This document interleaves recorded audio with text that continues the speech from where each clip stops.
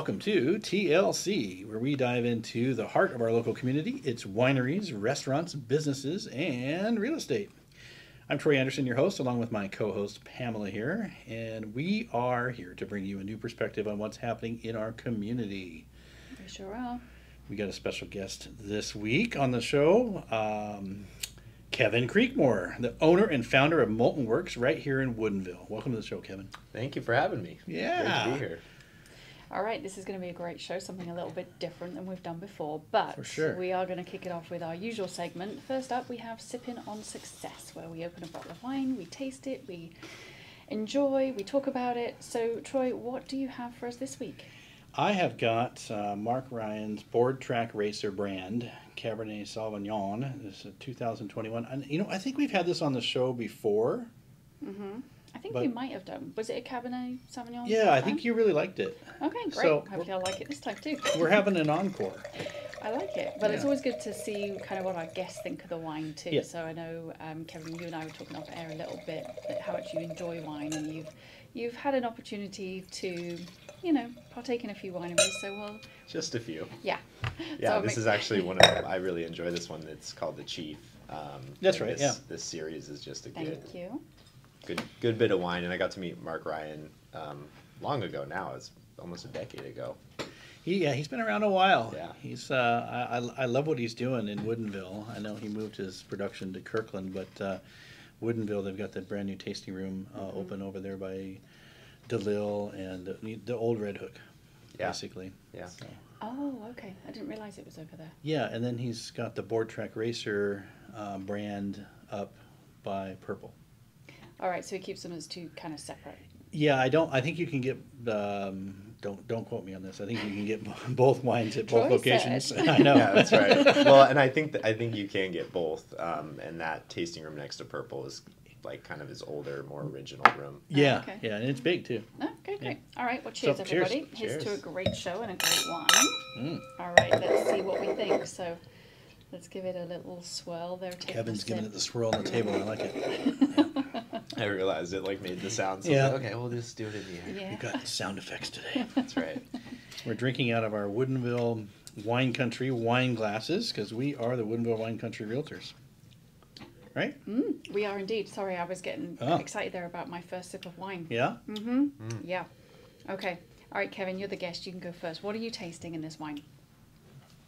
Well, it's delicious. It is that. obviously. um, I don't know. I kind of get some like cherry black currant notes. Mm-hmm. Um, Black currant. Yeah. it's it's got a little tartness to it right now, and that's usually the it, once it opens up a little more, Yeah. it'll kind of go away. It's I always judge wine with how it hits on your tongue. So, Mhm. uh, uh, to me, a good solid wine hits the front of your tongue, middle, and back, so it hits all 3 Mm-hmm. um, as you taste it. I feel like I've got two experts in the room today, and I'm just Been going to sit drinking it here a long time. good.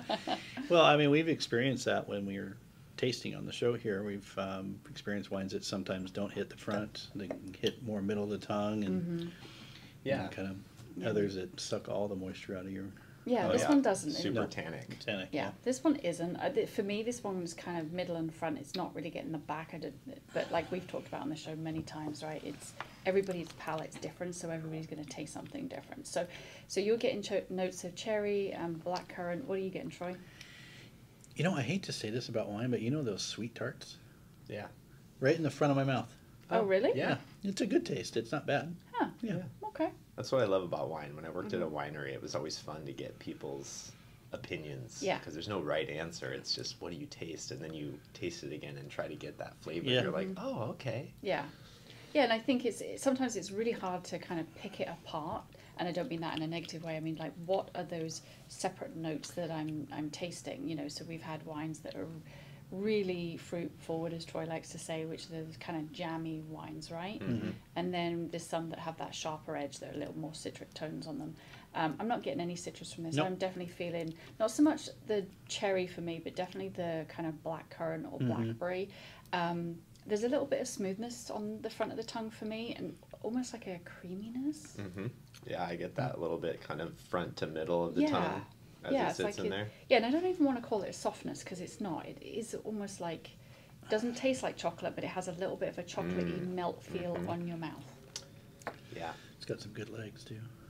yes. You might want to clarify Yes, that for anybody that is new to the show. The viscosity's good. When you swirl it in your glass and then it settles down, you can see it slowly come down the side. yeah. Those Yeah. are called legs. hmm It's Yeah, an interesting term, don't you think?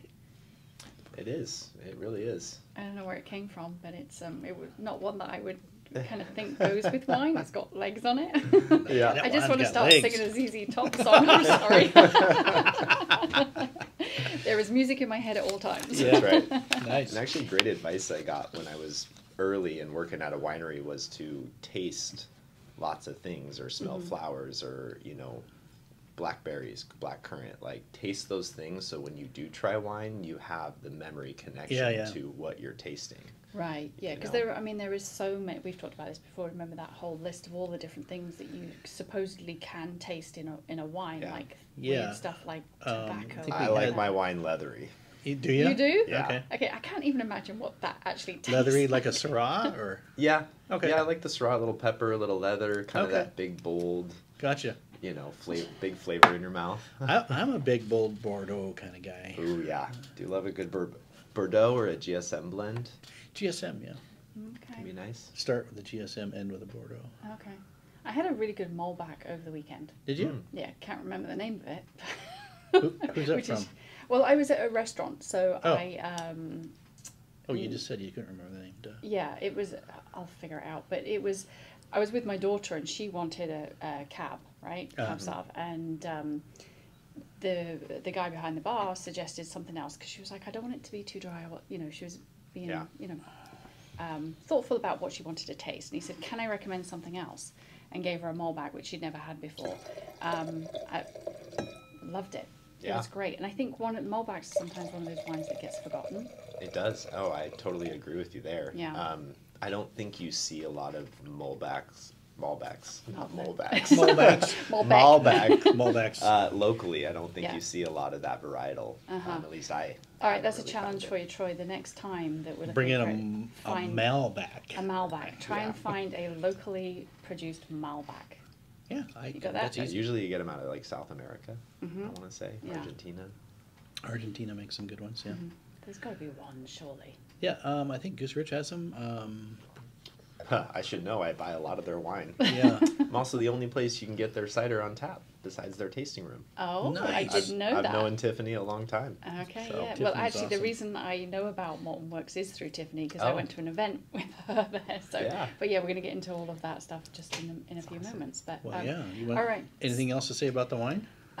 It's great. Again, I know. I think we talked about this before. It's kind of a heavy, hefty, girthy bottle. Yeah, it is. Yeah. It is. It's very substantial. Mm-hmm. Yeah, Yeah, which but- actually goes well with the wine because the Mhm. wine's kind of substantial. Mm-hmm. Yeah.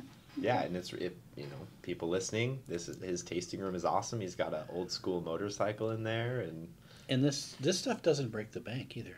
Oh, It's good. really reasonably priced. Yeah. Okay, good. Yeah. I like that because I Mhm. know Troy to I- be a little bit of a wine snob at times. I pride myself in finding really good wines for the least amount of money. yeah, yeah, no, and it can be difficult. You know what? Maybe know? what we need to do is actually put a list of that together. We hey, we're not Napa yet. oh, thank Don't the say Lord. yet.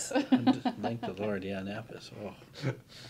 yeah. Perfect. Well, again, I mean, we enjoyed it the first time. I am enjoying it immensely this time around. Um, yeah. Any particular reason for choosing this? Just that you like it so much that we wanted to give it a second run. Uh, I actually bought a case because Oh, I wanted to have some wine around the house. It's not seventy-five dollars a bottle. That Mm. makes yeah, some good absolute drinking sense. wine that you can Mhm. open with the yeah, friends. yeah. yeah, a Tuesday wine, Uh huh. A, a Mhm. Tuesday wine. a Tuesday yeah, wine, yeah. or a Sunday sipper. This isn't a porch pounder. No, you had to do it.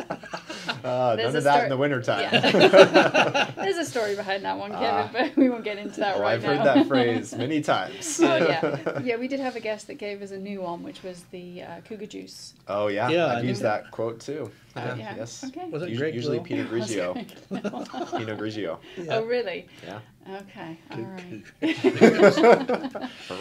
I guess it tracks. Okay. Shows, just shows going off the rails. Uh-huh. Oh, all right. Let's, right, let's bring- take a break. Let's take a quick break, and when we come back, we're going to talk about all things Molten Works with Kevin. All right. Stay tuned. Be right back after this very short break. This podcast is brought to you by JB Family Growers. Are you in the market for a new home or looking to sell your current one? Tend Home Team is here to help. As community focused real estate agents, we are dedicated to providing personalized service and support throughout the entire process. Whether you're a first time home buyer or a seasoned pro, we've got you covered. Let us take the stress out of your real estate journey. Contact us today at Tend Home Team and learn more about our services. Welcome back to TLC, Tend Life Community Podcast. So we're here with Kevin Creekmore of Molten Works. We want to find out everything about Molten Works. So, what's the journey behind Molten Works, um, and how do you get started? You know, what the name and just in itself sounds fascinating. Yeah, well, uh, actually, I was working at Gold's Gym just down the road, and uh, as a lifeguard. I And feel like it there's was- this massive backstory to this. Oh, there's a whole ma- whole story, whole story. Let's hear it. so the name actually I created. So I I started my business in 2010. Mm-hmm. Um, in high school, I was a junior, and it's funny that you we know have an entrepreneur in our midst. Yes. Yes, Mhm. and I'm the type of person that believes entrepreneurs are born, not made. You can be entrepreneurial, Mm-hmm. but those hardcore entrepreneurs, it's been in my DNA since I was eight years old. I was selling anything and everything I could from, uh, you know, lemonade stands to candy I was selling actually at school um, to other kids. That's awesome. yeah, you name it, I sold it. I was on eBay when I was 12 years old selling the Pokemon and Yu-Gi-Oh Mhm. cards and There we you were go. just born to be a success. it's it's Yeah. that. Well, it's Mhm. just funny that when I tell people about Molten Works and they're like, "Oh, you wanted to be an artist," and that was never the intent. Was I want to be an artist? Oh, fascinating. For me, okay. my art truly is building business. Like that's Mm. what gets me excited and Mhm. kind of out of bed in the morning. Now, in hindsight, all throughout my school career, I always really enjoyed art classes, and so I would always take as many art classes as I could. I was the teacher's TA. Like I just enjoyed it, Mhm. and so at the time when I moved here my sophomore year, I um, my art teacher and then my business teacher inspired me to kind of get into it. So taking a marketing class, then taking an entrepreneurship class, Right. and then kind of the fusion, if you Mhm. will, of the two things together. My art teacher said, "Hey, there's this vase idea that you might want to do. I know you like business. Maybe try it out." And at the time, it was funny because I just said, "Okay." And You were malleable. yeah, well, and I, I had a whole book of business ideas. Hmm. So I had always kind of written down just different Your- thoughts your and own book? ideas. Yeah, just Okay. my own, just writing down ideas that could work. Yeah. And so in the end, it was just kind of a fell into this and Mhm. started, got licensed as a business, bought a thousand dollars worth of glass, got to work. I was using the high school's kilns. Very cool. Um, and it was all based around just this one product. And I was like, I'm going to be a millionaire on this product. and uh, yeah, I just kind of got to work. Um, now, I did meet some, I worked at Bellevue Club. Mhm. And there's uh, a lot of wealthy people that go there. Some really cool entrepreneurs I met that were multi-millionaires. I presented my first business plan to. They came back. They're like, "Hey, it's not scalable or feasible yet, but keep Mhm. going." Oh, Mhm. wow. And I think a lot of people would take that and quit. Mhm. And I was like, yeah, thank you.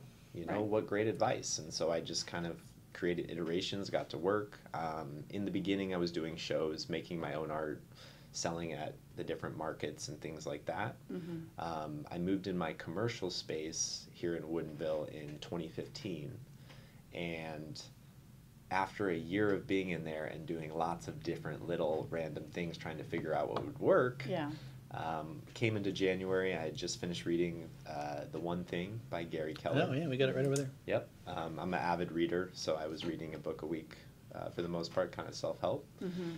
And I was like, we're not going to make it. We're doing too many things. We're, you know, master of none, Mhm. kind of Yeah. just testing things. And that's Yeah. kind of how early business is, is you really don't know what's going to work. Right. But this class thing, it kind of made sense. And I'm a very social person. So being an artist at in the studio alone all day is kind of it's not my jam. I need to be around people. Yeah. And then the scalability with Mm-hmm. art is if you're the artist, you are the only person You're that can do. You're Mhm. it. And Yeah. I never wanted to be that.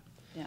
So that January, I stopped doing everything else and Mm-hmm. I just said, we're doing classes. And we got to work, and within two weeks, we were full and we were starting that cycle. And then for the next really seven years, um, I've been doing classes. We now call them Sip and Fuse. Cool. Um, and I got a full bar at my shop, all local wine, beer, cider.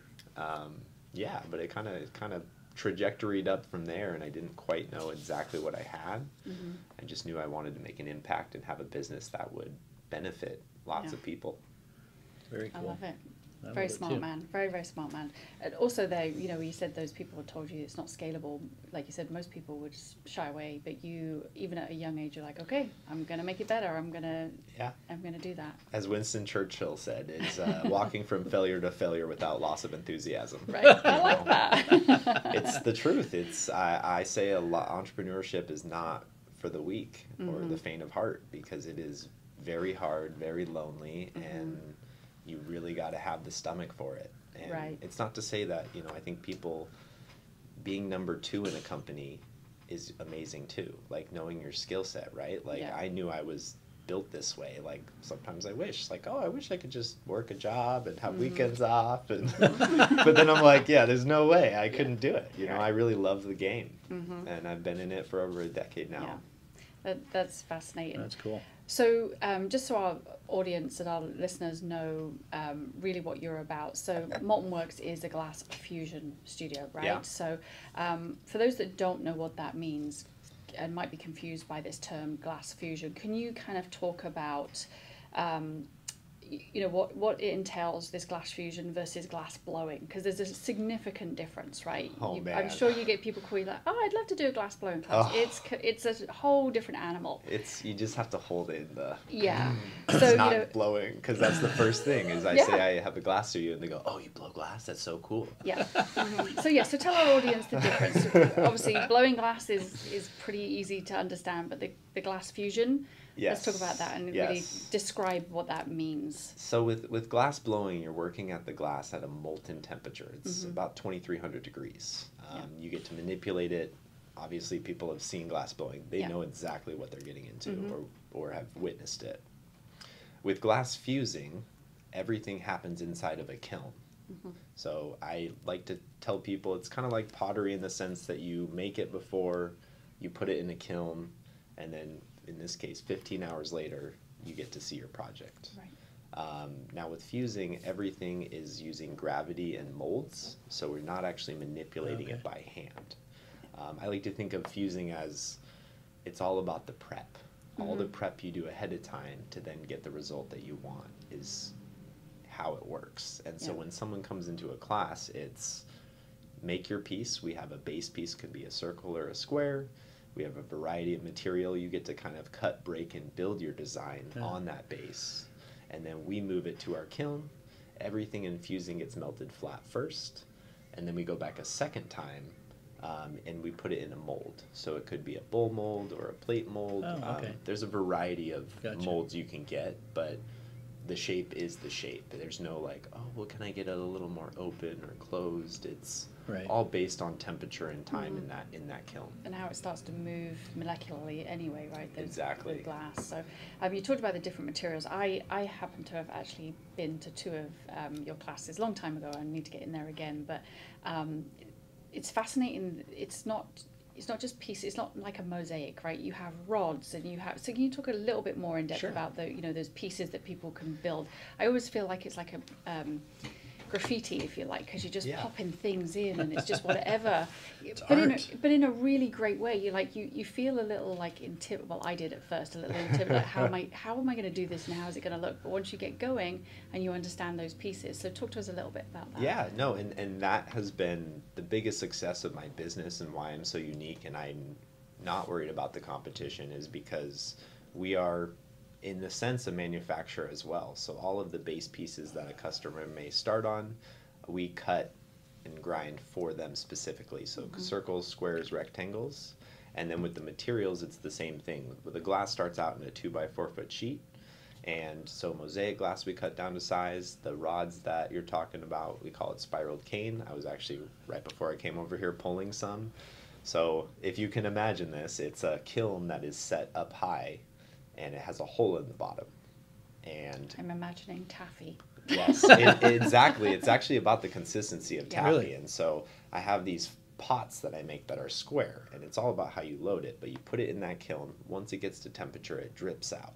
Mm-hmm. And then I sit below and I actually twist it. So the spiraled cane is the material I'm talking about in this Really? sense. And it is a hand twist sit there you know i've been doing it a long time it's a it's a premium material in the glass community i actually sell them online to artists with kilns at home Oh wow. um, in the studio you get that as a material included which is actually it's a lot and then Mhm. there's another material called curls similar process but it's all of the old colors that people have cut down to be so small Mhm. that we repurpose them we put them actually just in a classic flower plot pot Mhm. Drips out again but i have wands for this and so it makes all kinds of Oh. curvy That shapes sounds so, and so stuff much fun. I know. So Yeah. now, when people come in for the classes, they don't get to see you doing that, No, right? they don't. the They classes are don't. different. So I have a, I have a request. Could we go on a field trip and take our camera Yeah. and record? you yeah, oh, doing this? absolutely. This would be great. Oh, it's hilarious. I was getting a, an inspection done from my insurance company, and the guys happened to walk in right before this and see me, and they're like, "Oh my gosh, that's so cool!" That's so, you know, I filmed it a few times, but yeah. So, so the manufacturing is what allows me to provide a plethora of materials, and even the little beads that you use in class, Yeah. we make. Um, and we're fortunate that our members actually help us make those. The uh, thing about glass fusing is those little beads start out as little squares, Mhm. and then when you heat them hot enough, glass wants to be a quarter of an inch, so it actually pulls in kind of like Really? mercury. Okay. And so that's how you get beads is actually from just little squares. It doesn't flood out or Mhm. kind of Just you know kind of sucks in. yeah, and so fusing the max temperature is about 1450. So Mhm. glass blowing's 2300, fusing's 1450. So it's like you said, it's more like much more like taffy. It doesn't Mhm. ever actually get so molten that it's just dripping or Yeah. liquid everywhere. You Mhm. know, Or people are red always hot, like you see on the. Like you see in the Yeah. videos. Yeah. Exactly. Mhm. Yeah, it never gets quite that hot Yeah. in the field that I'm in. So remind me, you get a piece of glass, square, and then you lay additional pieces of glass on top for your design, right? Yes. Okay. Yeah, I always say cut, break, and build. So you get to use tools. Um, all you men out there, all you ladies, it's fun. I know guys love to come in, and half the time the husband that was dragged there thinking it was just arts and crafts ends up having just as much fun, if not more. Well, you got beer on tap, right? And we got beer on tap. You, know, you can't go wrong. They're always surprised too. They're like, "Wait, you have beer on tap?" Yeah, of course. Who, who doesn't? yeah. So yeah, you I mean, it sounds like you have a treasure trove of things going on over there. Could you walk us through um, maybe some unique offerings or experiences that someone might discover? Yeah, so they come in. the, the primary is our sip and fuse class. It's kind of our signature intro class for people. Um, it's a two hour session. Um, every Friday, Saturday night is also live music. So if you like the live music with it while you create, you get that experience added. Um, we also have a membership program. So over the years, I have built what I call my Savage members. Um, they helped me get through COVID, you know, spending money. Oh, yeah, yeah.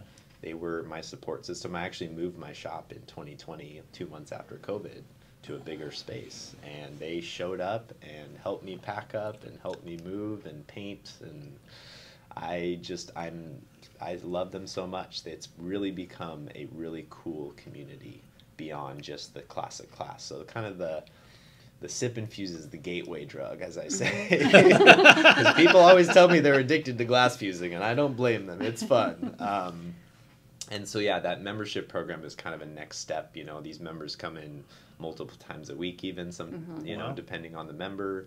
Um, we do member events. Uh, it's just really cool to have that community. I would say that is my favorite part of Molten Works. Um, and then in addition, we have opened our family fusing shop for under 21. So main shop with the bar, 21 plus. Oh, gotcha. Uh, family fusing in Kirkland is uh, what we opened in May, and so that's for fifth grade and up. So it, it is scalable. It is. Yeah. Yeah. Yeah, I my, like g- it. my goal is franchise model. Oh.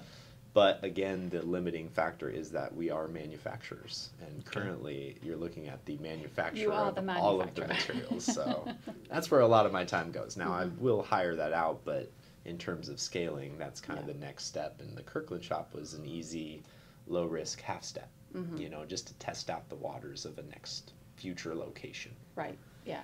Yeah. And You could do school groups in there too, right? Oh yeah, I I have, you name it, I've done it. I actually have gone to schools and done K through fifth grade, every grade in their classroom. So I've done. I used to do mobile events, and at some Kids probably thought that wineries was and- cool. Mhm. Yeah, Yeah. it's.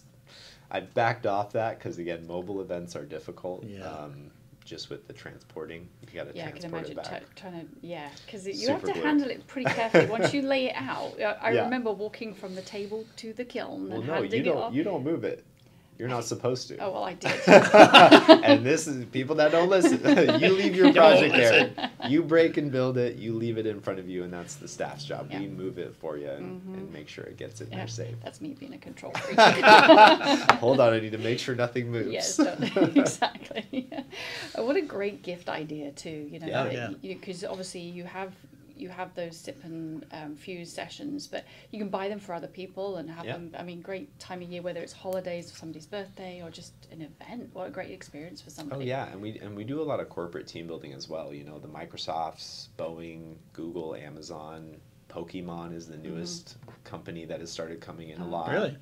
Uh, I mean, you name it. Uh, Seattle Genetics comes in a lot. Mhm. We've Okay. had a significant amount this year, more than even other Yeah, years. I'm sure you've thought about this, and you probably already do. But kids' birthday parties, I know that's Oh, probably it's already in. It's yeah, already I, happening. I figured, as, I figured as much, but I want our listeners to know that you know, oh, that's Yeah. a neat idea. Maybe my tweens or whoever. Yeah, I well, in this time of year, you know, if you have a family, and you know, extended families in town, like you can book a private group at that that family shop as well, Okay. and that's why we call it family fusing because it's not, oh, it's for kids. It's really the adults and kids get to create because it's the same exact setup as the main shop, just without alcohol. Mm-hmm. Okay.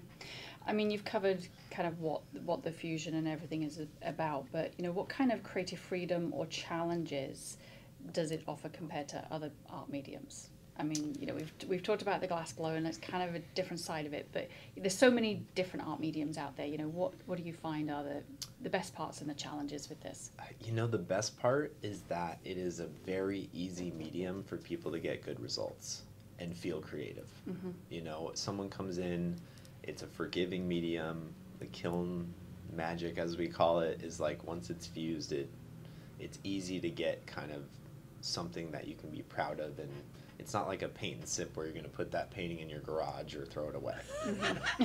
I'm sorry, paint and sips, but that is what happens. Okay, that is the reality. You have fun while you're doing it, but is it something Yeah. you want to put on show? well, and like you mentioned uh, earlier off air, that you have it in your house. I You do. I it have two pieces. I've been to two two of the paint uh, paint and sips. Sorry, you got that stuck in my head. Now. But I've been to two two fuse and sips, and I started off feeling like, oh, I don't know this. And I I do do art. I Yeah. you know I like art. I paint. I do crafts. I, I do all sorts of things. I was like I was kind of intimidated, but I have these two pieces. I picked the colors of the glass that I was going to use to line up with what's in my house, and they sit proudly on my mantle. Nice. Yeah. Yeah. I put little votive candles in them. Yeah. That's fantastic, and that that is really my my deep desire is that we as a people Mhm. are all creative. Yeah. It is in there, but most times I can if someone tells me they're not creative, I go, "You had an art teacher that told you you weren't, or you got a Mhm. bad grade in art." Well, I think everybody assumes that if you can't draw, you're not artistic. Exactly. And art comes from so many different things, Yeah. right? So whether you're somebody who's a scrapbooker or you finger paint or you, you know, whatever it is, everybody has a little bit. Yeah. They just haven't been, it's not been tapped yet. Yeah, and fusing again is that easy kind of path into it. You Mhm. know, painting is a lot more technical. So when you go to these paint and sips, like Mhm. you actually need a decent amount of skill when you're painting, Yeah. more so than fusing. It's kind of it's the forgiving, you know, when you're when you're melting it in the kiln. So Mhm. that's I would say that's kind of the best part. Now challenges, again, back end. You know, we are a manufacturer. Most people see these circles and squares and all these base pieces that are cut, and they just assume that I You- buy them. You went to Michael's and you bought them. Yeah, they, they assume all the materials are just there. I just purchase them, and Mhm. it's again, it's why like in terms of competition and other fusing studios, because there are a few in the area. Oh, there are. Um, there actually was a one right here in town before COVID. Um, again, they were most fusing studios are pottery studios first.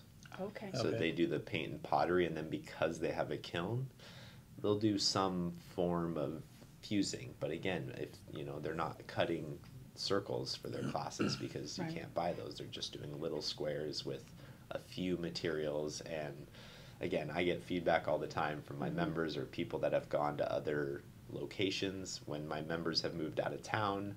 They are itching for something, and they're like, "There's nothing like you." Like, ah, I know. Or just I'm the sheer volume you know, of those pieces that you have to offer just makes you unique to everybody yeah, else, right? Yeah, exactly. And so you know, it's a challenge, but at the same time, like it still does scale. It's just Mhm. figuring that side out.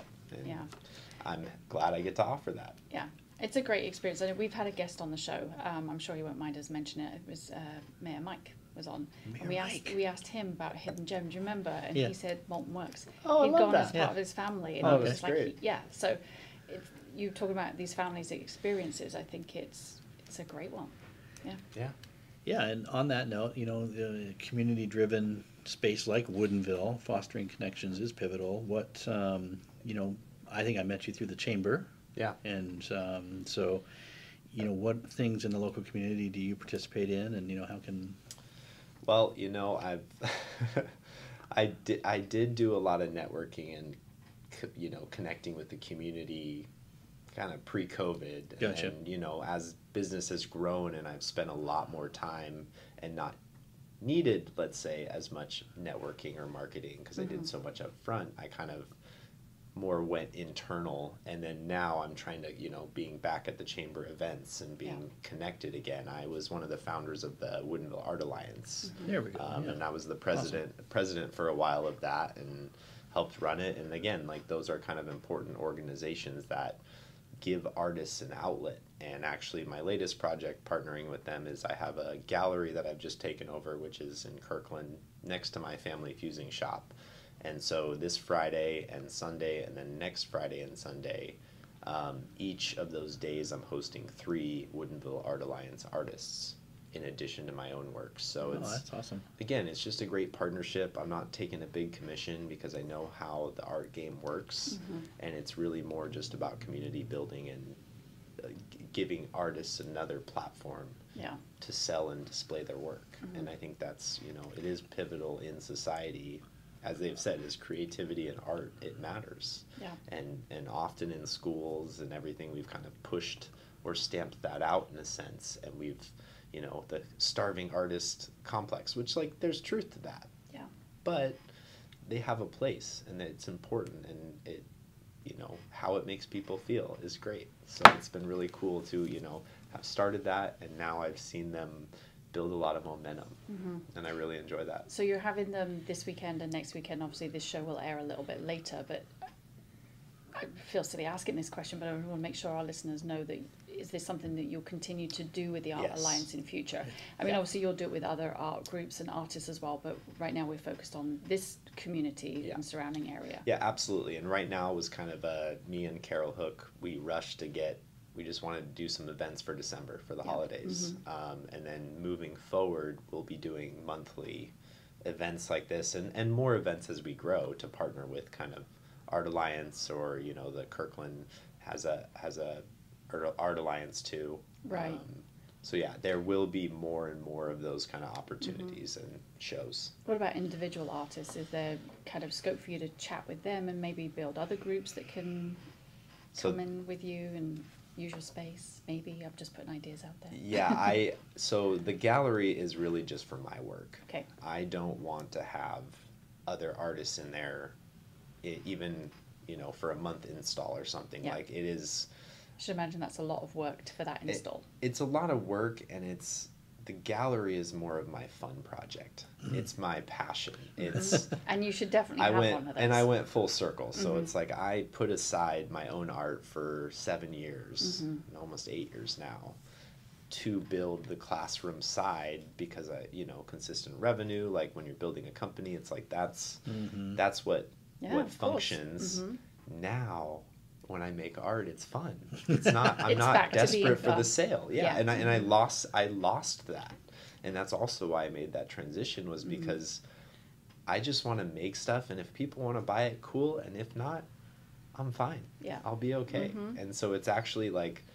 I would never have opened a gallery unless it was like it is, which is it was already built out. Mm-hmm. My friend couldn't afford the rent, so I was like, "Yeah, I'll, why not? I'll take it over. I I can make this something cool." So, yeah, it's really more that side is the passion project. Passion project. I like yeah, that. I like yeah. it. Yeah. You get you're doing all the hard work, and now you get to come back to Yeah. that. Because sometimes you know you talk to people about well, you you have something that you're passionate about, and you make it into a business, and then it doesn't become a passion anymore. But you sounds like it's always been a passion, but now you're getting to get back to kind of Ah. your roots and enjoy the fruits of your labor by being able to do more of your art and then put it on show for other people to to enjoy So, too. so I've got a quote for you on that. Okay. Is do what you like, not what you love. I think that Mhm. there's That this sense. whole do what you love and you'll never work a day, and I I think that is the greatest lie Mm-hmm. that we tell entrepreneurs. I, I'm sorry, but No, I, I don't think you're wrong with that know. because sometimes it you it takes the joy out of something you does. used to love Yeah. when it becomes work. It does, and you're you're no longer pushing boundaries and doing really the kind of art you Mhm. want. Like when I did shows in the beginning, it was you. Could, I still had to have a slant on make stuff that people will buy. Now, obviously, I still make work that hopefully people enjoy and But want you can buy. be as creative as you want, though. Mm-hmm. Yeah, but it's fully, you know, if I've had ideas in my head for years, like I have these giant rainbow wings that I've made. If you've ever seen um, the wings that are painted on buildings that you stand in front of, Yeah, Yeah. Mm-hmm. so I did glass wings, Wow. Oh wow. And it was a it was an intense project, but I finally finished them up. I'm actually figuring out how to mount them now. Right. How's Um, that fit in the kiln? Ah, so I have very large kilns. My biggest kiln is four by eight feet. Okay, wow. Okay. So I do big paneling. Actually, if you come into Molten Works, my bar, the countertops of the bar I made. Okay. So they're about an inch thick, and then there I actually was like, let let's just wrap the bar in glass. So I did big panels that literally wrap the bar in the front I love and it. are lit up. Why wouldn't you? Yeah, why not? Right? now, somebody once say, I'm, I'm just going off at a tangent here, a custom piece for their kitchen. Could they come see you for that? Oh my gosh. Yeah, I actually did one of my first big installs. Um, a couple walked in. I have these three giant rainbow like panels at my shop. I've replaced them now with new ones, but they were like, "We want those." I'm like, uh, "Okay." So like, you know, we negotiate. we want those. well, it was never intended to sell. It was just like fun to display, and so I was like, "Yeah." So we came up with the price, and uh, they live on Whidbey Island, and I actually did that install um, to uh, in August. Okay. So the they, in their master bedroom, they have these three six foot by like two or three feet panels, and three of them. And so uh, what I learned in glass fusing or displaying is there's no right way to install your glass. It just has to be secure, Right. you know. Right. And I, I, not a background, but my freshman year of high school, I was into engineering, and I've always worked with my hands. My dad was a woodworker, so I'm I'm pretty handy when it comes to building things. And so I built out kind of the way to display it for them. Mm-hmm. And then uh, yeah, so that was kind of actually a milestone for me. It was you know highest piece or uh, most expensive piece I've sold to date, and then to do a cool install for someone Yeah. to enjoy Make my sure it doesn't come off the walls. Right. That's right. They're like, uh, is it that. earthquake proof? I was Uh, what I was thinking. Of like, could you imagine? yes yeah so it, it, it is it is fully secured but um, that was that was a really fun project to kind of do that Yeah. So in the in your art studio, what I mean, you've just told us about those wings that you're working on. What other pieces can people expect to find from you? I'm, I'm assuming it's very diverse. Yes. Um, back in september for the gallery i released i called it the flower collection. Um, so i did a variety of so, some monet inspired pieces. They're his Oh. water lilies. Um, i did three-dimensional lily pads with pink flowers on top. I did wall mounted pieces that have flowers kind of coming out at you. Um, and, and again that was just a that was a project that i had had on my mind for you know three to five years and finally so i produced all this work and that kind of launched my showing in the gallery because i had displayed my stuff before my friend decided to move out so Right. Wow. you now know it's just you. now it's just me i've got you know i'm working on some other big pieces um, i just yeah like you said it's quite the variety. So there's not any one specific Mhm. thing that I'm focused on. It's you know could be platters, could be wall pieces. I like functional art too, as most people do, Yeah. because then you can use it. You know, Yeah. a big platter you can display and show. You know, put food on for all your Mhm. friends. Like it's fun. I like that idea. I've got to go in. I know. I'm just sitting here thinking. I have a friend, and she's very much into art too. She's like me. We, Yeah. we do certain things together art wise, and that would be a great kind of girls' date. You know, to Yeah. go to the gallery and Yeah, and and I'll be again. It's I'm planning to have more s- solid hours there. You Yeah. know, as time allows, and as I have people to help me out. It's like because that's an important thing. Is you know I want people to be able to come Yeah. and see that, and so this these kind of shows coming up are kicking that off. Mhm. And then moving forward, it's like, yeah, let's throw events. Let's bring some wineries in. Let's, Nice. you know, just have fun with yeah, it. we take Natalie there Yeah, I was thinking about taking the whole family to the. Yeah. to the s- the fuse the family Yeah. fuse thing. But yeah, for the the gallery as well though, that'd be quite a nice. Yeah, thing. and That'd the, and the another- gallery, they're connected Yeah, yeah, yeah. spaces. So even Ah, if so you you go can to take the family kids, fusing, you can send see the them off. gallery that day because Okay. it's that's where the bathroom is too. Oh, so okay. you're walking through the gallery. Yeah. That's Gotcha. really cool. Yeah. He's I like definitely- it. He's definitely an entrepreneur. I can't help myself. so I want to come quickly just back to the the classes and stuff. Yeah. You know, the gallery comes into this too, but you know, what kind of experience do you hope that your patrons walk away with, and how do you envisage your studio impacting or resonating with the individuals who engage with your art and workshops and events? Yeah, you know, I really just hope that people reignite that they are creative. That's my biggest hope, and that's what we have seen. Um, One of my favorite stories is it was actually at the Dollar Tree. This was years ago now, but I was at the Dollar uh, Tree in town, and I was in line, and the woman in front of me, like, she like kind of kept looking back at me, and then she turns around and goes, "You're that you're you're Molten Works. You're you're the glass guy, right? Like, hey, I just want to say, like, we came in as a team, Mm-hmm. and before we came in, our team was kind of it was a little rocky. And she Mhm. says, after going to your studio that one time, our team has cohesion Hmm. and is working together better than ever. And what I have deduced from that is when a team comes in, it's an even playing field for everyone. Yep. And so it's I not that. that you disrespect people you work with, but you don't see them in the best light always, or maybe something irritates you, but then they come to the studio. Troy, you irritate me. I'm just kidding. Tell me how you really feel. I'm just kidding. yeah, but but then they come to a class where they're you know everyone's a beginner, and they build whole new levels of respect for each other, Mhm. because someone they didn't know much about is all of a sudden the most creative person in the group, and it's impressive. And so then they meet that person in a whole new sense mentally. Mhm. And so that experience just really showed me and taught me that like, man, like that's what I need. And everyone's craving it. My members can't get enough. And Right. it's it's neuroscience has proved this that creativity and exercising it regularly matters Yeah. and is very important. And it's also really good for mental health. Whether you, Yeah. you know, like we said earlier, like everyone thinks if you can't draw. I mean, I'll freely admit I can't draw for Oh, I- toffee. How about you? Troy? I, Can you I can't draw. I can't. I can draw a stick figure.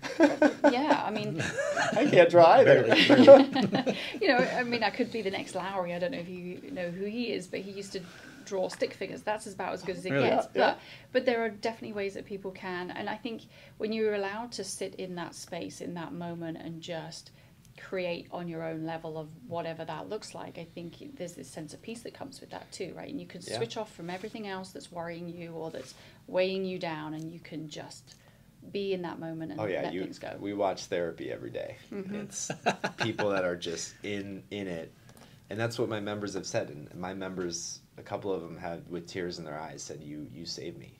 Wow. And that's again, that's the most powerful thing that I've witnessed, and why I say the community is the most important part. Is I am just so thankful that I can be that for people, and remind people that you are creative. And so mm-hmm. I'd say that's that's kind of the greatest give. Yeah, they get their moment to shine even though they didn't know they could. Yeah. Yeah.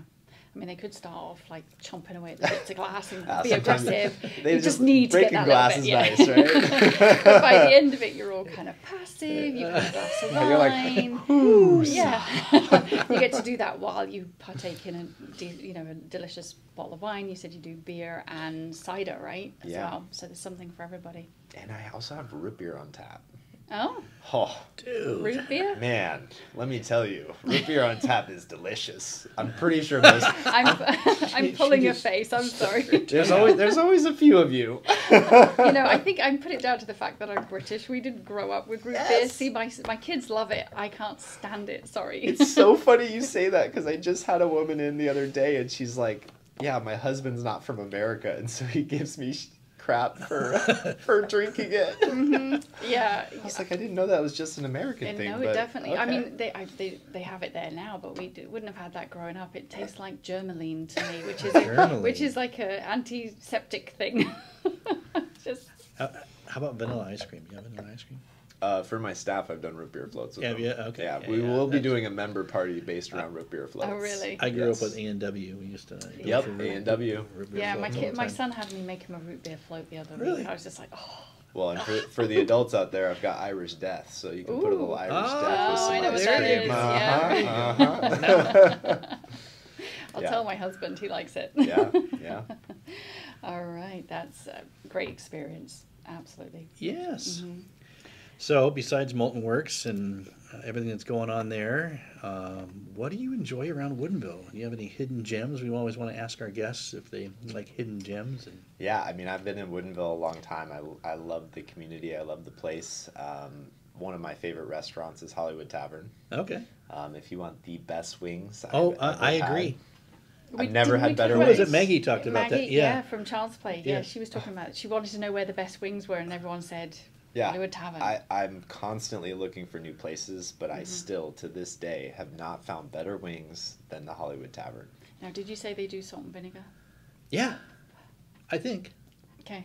Do they? Well, they only have one type, which is Cajun. Oh, okay. It's like a dry rub Cajun, and they Still do sounds delicious. just a little bit of like a honey kind of drizzle. They're- with so it it has or a little bit of stickiness to A it, but not. A little- little bit of stickiness, but, but, pretty yeah, much dry. When they do it right, it's pretty much dry rub. Okay. Yeah. and they do fried pickles too. Oh, fried pickles are I've had their fried Yeah, pickles. yeah. They're- Yep. They are they are really good. So I mean, yeah, that that's a great hidden gem. I mean, the Burke Gilman Trail that you got right here. My mm-hmm. shop is right off of it, on it. So I have a I have a German Shepherd, and so I take pretty much daily walks, and we mm-hmm. play fetch on the side of the trail. Oh, that's good. Yeah. Yeah, I think there's just so many great things about Woodinville. Ah, there's For just sure. too many. Mhm, I know. It's when you walk away, then you're like, oh, I remember this place. like, I remember right? that place. Oh, Yeah. uh, one other heritage. Their Dungeness crab hush puppies Yeah. oh yes. are next level, and Bree does such a great job with her food Mm-hmm. and menu. So Yeah, She we big really love Maggie does. and Chris. Yeah, she did great cocktails there too. Yep. Yes. Yeah, I think I had one called a Woodinville Barbie. Yeah. Ooh, Yeah, interesting. like a Was it- year or was so it ago. pink? It was kind of a pinky color, Yeah. yeah, and it had a you know uh, dehydrated orange floating on the Oh, top, yeah, and I was yeah. just like, yep, I Oh, I could sink love a few of love those, it. but yeah, I A didn't. few. I said I could sink a few. I didn't say I did sink a few. yeah, yeah. Oh dear. All right. Well, this has been a wonderful conversation. Um, I can't wait to actually get back to your studio. I'm I'm itching. I've got to get, get online and um, yeah, uh, this time of year we're we're booked pretty solid, so mm-hmm. you Are know ya? definitely Oh, book no. early. yeah. Well, Okay, I Yeah. gotta go this afternoon then. That's right. Yeah. Check it out. Yeah, Moltenworks.com. Moltenworksglass.com. Okay. Okay. And right Yeah. before the end of the show, we'll kind of talk about where you know what days are open and those things. But we're Yeah. going to take a really quick break, and when we come Pam's back, keeping us on schedule. I'm trying to keep everybody That's on. right. We on always task need here. that, you know. we gotta have that one person. I've got a staff member for that too. Oh, you do? Taskmaster. Uh, yeah, so we'll be right back, and when we come back, we're going to um, tackle our real estate roundup with Troy. The Oh, question no. of the week. Okay. So you've got a, you've got like thirty seconds to prepare yourself. All right. All right, stay tuned. We'll be right back. Did you know JB Instant Lawn is more than just sod? We planted seeds of development and now offer a new experience. JB Family Growers is home to the Lavender Farm and Flower Market and the Pumpkin Farm and Puzzle Patch. Acres of beauty to enjoy through your summer and fall. Come check us out right next to Chateau Ste. Michelle at 14063 Northeast 145th Street in Woodinville. We look forward to seeing you there. Welcome back to TLC, Tend Life Community Podcast. We've um, been talking with Kevin Creekmore from Molten Works about his fantastic Fuse and Sip programs, his studio, and um, we encourage everybody to check it out. But before we finish up the show, we've got to start with our real estate roundup. So, with where I ask we go. Troy a question every week, and he's got to answer it. Are you ready? I'm ready. Sure. Maybe. Depends on the question. All right. Well, here we go then. Let's let's see how we tackle this one.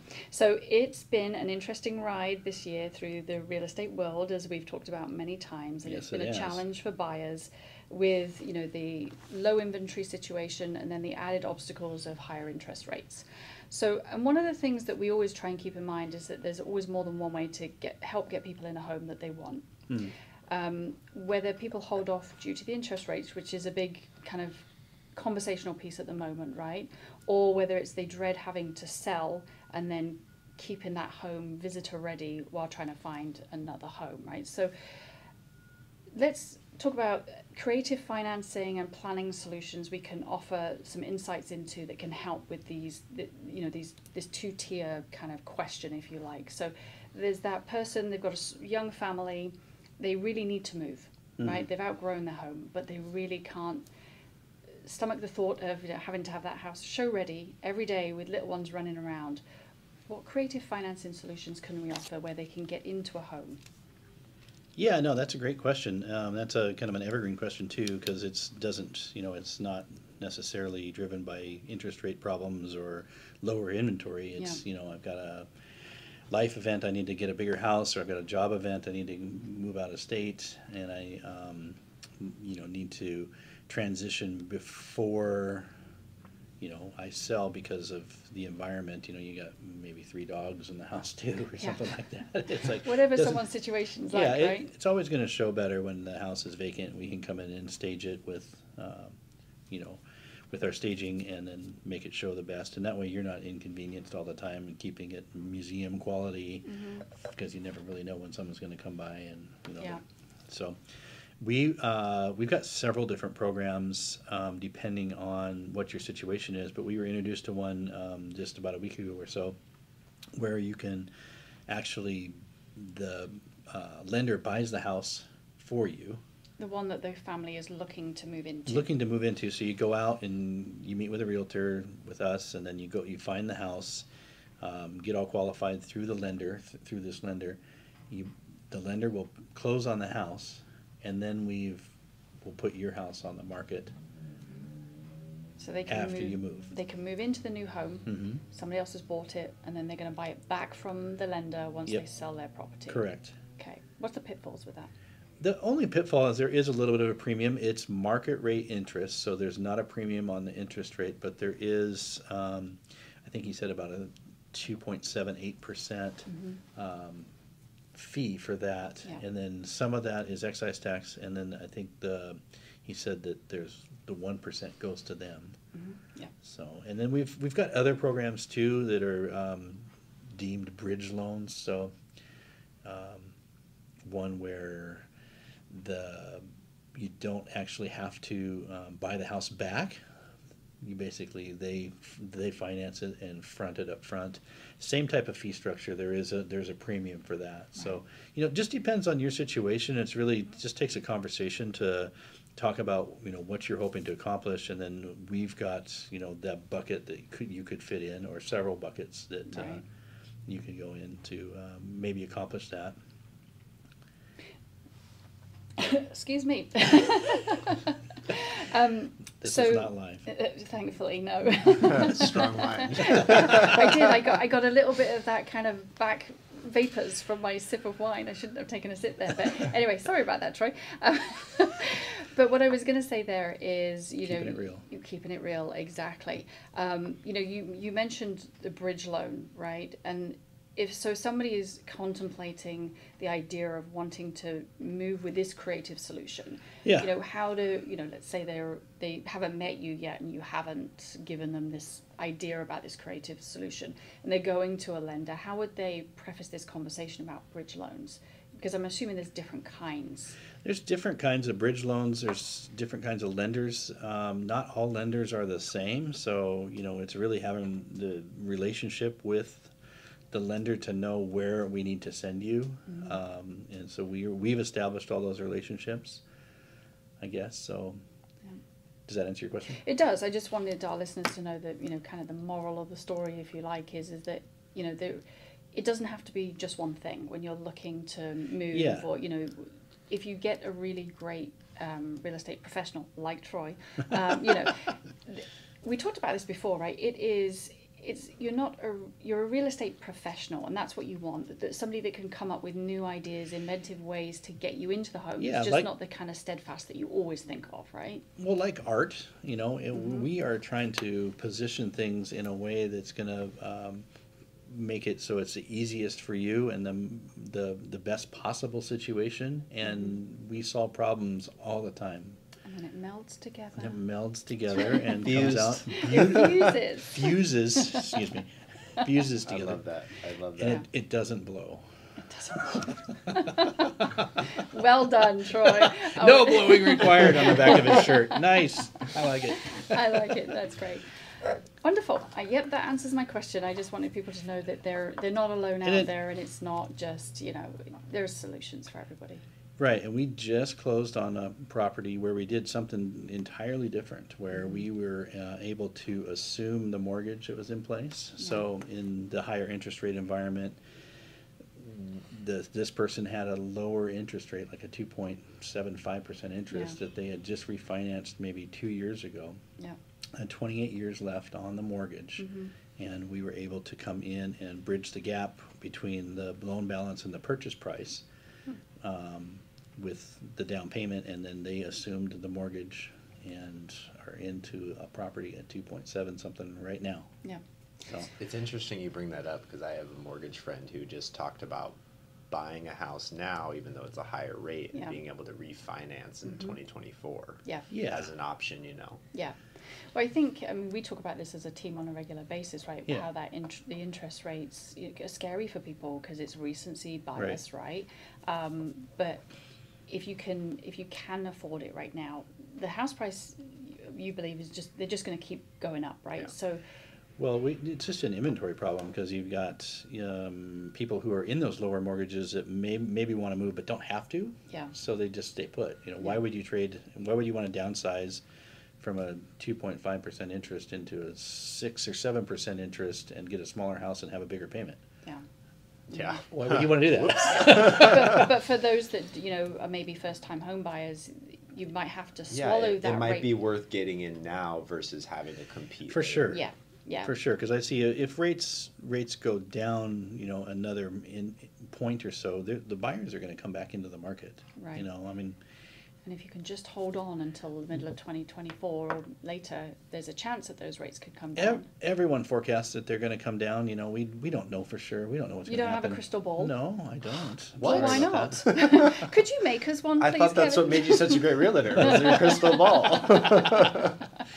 Yeah, there's no no real absolutes, but everything is in is pointing to that election year. Um, inflation rates um, are going down, so the Feds they pull on that interest rate lever to to to slow the um, inflationary um, environment down. So, yeah, I mean it's uh, everything indicates that Mm-hmm. you know, and all the smart people out there are saying that uh, it's gonna. Smart than me. Yeah, yeah, we listen to them all. We try and try and not have our own opinions. We uh, we definitely bounce things off of the economists and things like that. But there's something else I was going to mention. Oh, uh, interest rate buy down. So the, we're doing a lot of uh, what's called two one buy down now, where um, rather than coming in and beating up the seller for price, so it's coming in and offering twenty five thousand dollars less, you come in and you ask uh, offer full ask price, but you ask for a twenty-five thousand dollar credit, Mm-hmm. and then you use that to buy your interest rate on what's called a two-one buy down or a three-two-one buy down, or a permanent buy down. You can do you can do that as well. That's where you actually pay the interest up front Okay. and buy it down for the first the the first year it goes down two points. The second year it goes down one point, and then it goes to the current interest rate for the duration of the loan. And that buys you some time to mm-hmm. hopefully refinance mm-hmm. if the economists are right. You know, rates are going to go down, and it would make sense to refinance then in maybe a couple of years. So what I'm hearing is whether you're sitting on the fence because it's interest rates, or you're sitting on the fence because you're scared to like you know put your house, get it ready for a market, and have to maintain it. There is a solution for everything. So just it's all a conversation. And I don't see prices falling off a cliff. You know, it's, I know. No, and I, I love hearing about this because it Mhm. just I, I love that insight. You know, I've never bought a house, but Mhm. it's fun to hear like your creative solutions for things. yeah. Yeah. People keep asking when's the market going to crash. Nobody seems to think it is. So. Uh, you know, I, mm, We don't have the the things in the market that took place in the crashes that have happened in the past, Yeah. especially the one in 2008. You know, Yeah. people have a lot of equity. They got a lot of choices. They don't. They don't. Mhm. Or when you're ready, talk to Troy. yeah, oh yeah, one day. Although I might end up buying commercial first That's Probably a not, that's with this because if I want to buy in Woodinville, good luck. what? What's the matter with Windmill? Uh, it's a You great know, place. Just a million little plus. spendy. yeah, yeah. Uh-huh. 1.4 median. Yeah. Yeah, exactly. All right. Well, thank you very much, Troy, for enlightening us on that. Yeah. Hopefully that helps people out. Yeah, absolutely. Right, Kevin, thank you very much for being on the show. Can you tell our listeners again where they can find details about opening hours, the products, the services that you offer, and just, you know, Yeah. share the uh, joy? moltenworksglass.com is where you can book your class you can learn more about us you can see photos of projects people have made in previous classes so if you have no idea what fusing is it may give you a perspective and an idea of what you might be getting into um, we also have instagram moltenworks glass is also the handle for that uh, unfortunately at the beginning of this year our moltenworks facebook page was hacked I'm Yeah. familiar with that. Yeah, we are. Yeah. Oh my it's still up Uh-huh. and it's we've been unable to get it removed. Even though I was the uh, in charge of it for over a decade, they still are like, yeah, we can't get it back for you, which makes no sense. But anyway, so it's MoltenWorks dash Glass Studio. So Okay. until we can maybe get that page removed, but those are the social platforms. Um, for that, and again, MoltenWorks Glass, we are just located behind McLendon's Hardware, um, next to Woodinville Sports Cars. You can see us right off 522. You're traveling by at 60 miles an hour. You know, close Should by. 60 miles close an by. Isn't that a 40 that road? No, it's a freeway. No. Oh, Uh, I thought it was 70. yeah, I do. s- I, I do 70. and we digress. Okay. All right. Well, I encourage Yeah, but we're everybody. doing. We got a few ornament workshops with some space left right now Mhm. um, before Christmas. Um, I know the one tonight is full, but I think next week there might be one with a little bit of space. This time of year gets kind of a little crazy for us, so lots of classes fill up quick. But you know what? There's next year too, and people can Yeah, just fill up those spaces. And the reality is, like, there's never a bad time to come be creative because we all agree. need that break and well, that maybe especially after the holidays, when Oh, you need Especially it. after the holidays. Because, Yeah. after It's the the holidays. and- yeah, Yeah. the unwind. Absolutely right. Yeah. And Troy, if somebody is struggling with what to do in the market and they need some advice and some creative financial thinking, where can they connect with you? Uh, online's the best. Tend, T E N D, hometeam.com. That's Tend, like take care of you or take care of the garden. And uh, 206 504 3660 is our phone number. You can call or text. All right. And what do they do if they enjoyed the show? Porch Pounder. You already said that. Oh, I like and subscribe. Thank you, Kevin. yes, like and subscribe. Ding, ding ding the the dinger on YouTube. That's right. All right. Well, thanks very much, everybody. We'll um, see you next time. Yeah, thanks for All right, having thanks, me. Kevin. Appreciate it. Yep. Bye Bye. bye. Are your taste buds ready for an adventure? Look no further than Woodinville Sauce Co. Experience a burst of flavor like never before with our chef created everything sauces. From Asian Q to sizzling dos aches and the irresistible blackberry grill sauce, our creations will take your dishes from ordinary to extraordinary. Available in stores including all 16 PCC community markets. Elevate your culinary game with Woodinville Sauce Co. today. Taste the passion, taste the perfection.